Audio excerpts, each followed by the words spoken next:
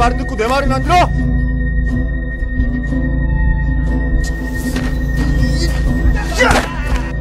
아니 그걸 지금 믿으시는 겁니까?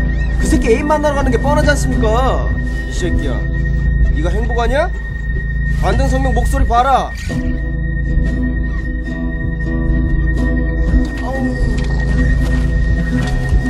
연극 한번 제대로 해보지 준비됐으면 빨리 탑박스부터 날라 빨리 빨리